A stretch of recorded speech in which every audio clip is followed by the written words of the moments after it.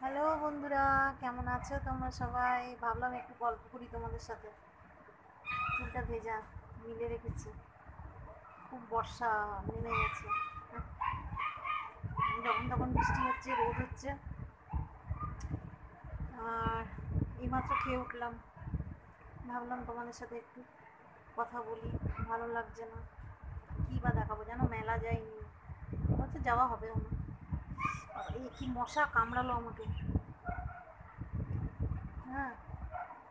রথের মেলার কথা মনে পড়ছে, ছোটবেলার কথা মনে পড়ছে। বাবার সাথে যেতাম, আর সেই বাবা যাওয়ার পরেই সেই বলতো পাঁপড় ভাজা। আগে পাঁপড় ভাজা খেতে হবে, আমাদের তো তখন মন অন্যদিকে। কখন খেলনা বাটি কিনবো কখন দোলনায় চড়বো, ও উপর নাগর দোলনাটায় খুব চড়তাম। আমার সাথে কেউ চড়তো না, ভাই চড়তো না, মা তো চড়তোই না কোনোদিন।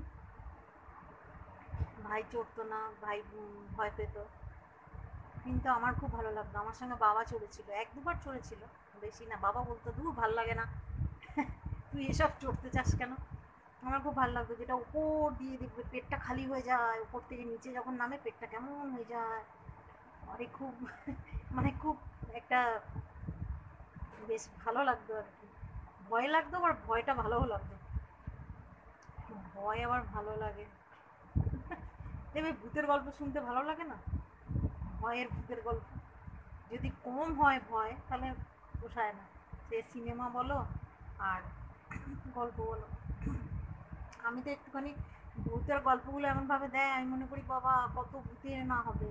একটুখানি শোনার পর আমি যেই দেখি দূর রে কেমন যেন, ভয় পাচ্ছি না। তখন আমি ওটা ছেড়ে দিই, আর শুনি না। ডিলিট করে দিই। খুব ভয়ের হলে তার মধ্যে ঘটনাও থাকতে হবে, ভালো লাগে। তো সেই ভাবছিলাম ছোটোবেলায় কি সুন্দর বাবার সাথে যেতাম, মায়ের সাথে যেতাম। আর যখনই বেরোতে যাব তখনই বৃষ্টি, যখনই বেরোতে যাব তখনই বৃষ্টি। রথের টাইমটা বৃষ্টি হয় খুব বর্ষাকাল, যেমন এখন হচ্ছে। কালকে তো উল্টো রথ গেল। সেই আর কি। বাবার, আমাদের তো সেই থাকতো মন থাকতো অন্যদিকে। ভাইয়ের গাড়ি কিনবে। ভাই বেশি বায়না করতো না। কাঠের গাড়ি টাড়ি কিনতো, তখন কাঠের গাড়ি খুব পাওয়া যেত। ওই লরি টাইপের কী সব কিনতো। আর আর আমারও তো সেই শখ ছিল খেলনা বাটি, তারপর আইসক্রিম খাব, এইরকম আর কি। তা বাবা ঢুকেই বলতো, না, আগে পাঁপড় ভাজা খেতে হয় মেলায়। পাঁপড় ভাজা, জিলিপি, তো সেই। বিয়ের পরেও গেছি, প্রতি বছরই যেতাম, বাবার সাথে যেতাম, বাবা, মা, তারপরে আমার ছেলে অনেক ছোট ছিল, শ্বশুর শাশুড়ি, তোমাদের দাদাভাই ডিউটি থেকে চলে যেত। মানে আমাদের সাথে ওখানে দেখা করতো, একসাথে আসতাম তো গেছি অনেক, না যাওয়া হয়নি, এই বছরই যাওয়া হলো না। এই বছরই যাওয়া হলো না, জানো তো। কী করব আর কপালে নেই। কালকে থেকে রাত আর আমাদের এখানে মেলাটা, একটা হলো আমাদের এখানে আকবরে একদম কাছে ইস্কনের যেটা হলো, সেটা সাত দিন ছিল। আর যেটা আমাদের এখানে তোমার চিত্রালয়ের ওখানে মেলা হয়। অনেক পুরনো মেলা হচ্ছে সেই ছোটোবেলা থেকেই তো দেখে আসছি। কত বছর আগেকার জানি না। বহু বছর হবে। জন্মের পর থেকেই দেখে আসছি। তো ওইটা এখনও সাতাশ দিন মতো থাকে। সাতাশ আঠাশ দিন থাকে। উঠতে উঠতে ধরো মাসখানেক এরকম। সাত দিন তো এমনি রথ হলো, উল্টো রথে থাকবে, তারপরে ভাঙা মেলা হবে। অনেক দিন থাকে ওটা। প্রচুর ভিড় হয়, আর কাদাও হয় খুব মাঠটা পুরোটা না, কিছু কিছু জায়গাগুলো কাদা কাদা হয়ে থাকে। প্রচুর দোকানপাট আসে, কলকাতা কলকাতা বাইরে বাইরে থেকে আসে। যাই হোক, সেই থেকে থেকে বৃষ্টি হচ্ছে, ঝাঁক, ঝাঁকে ঝাঁকে বৃষ্টি নামছে।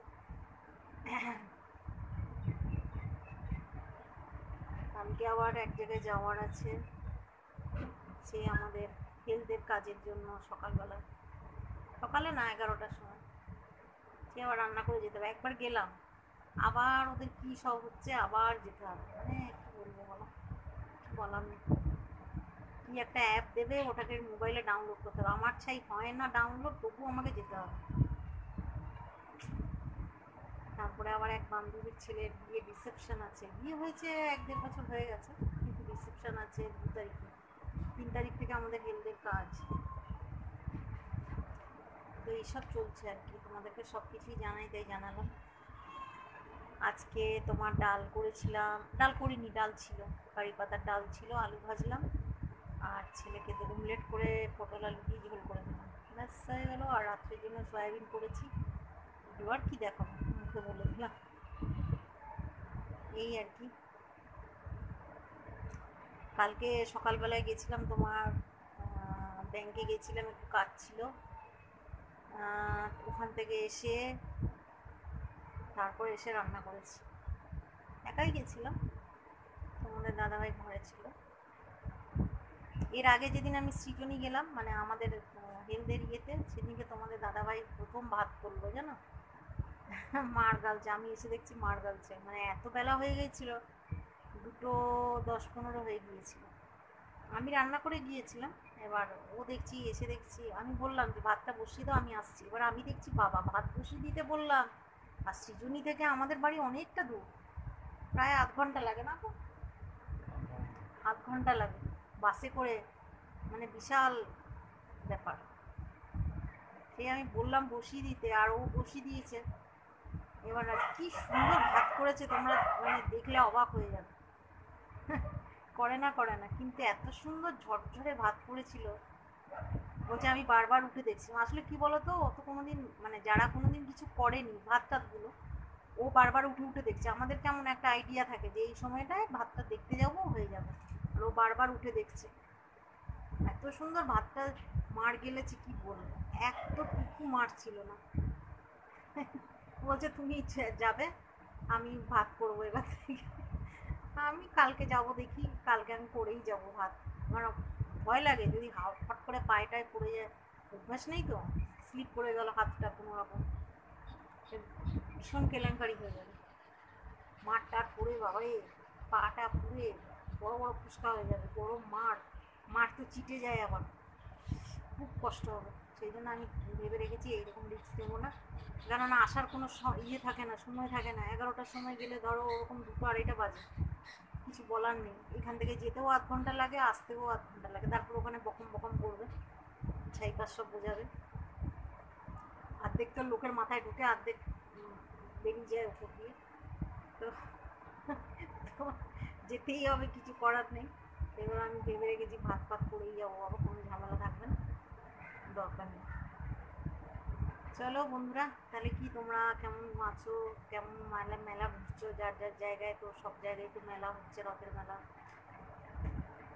তো চলো এনজয় করো, ভালো থাকো, সুস্থ থাকো, সাবধানে থাকো।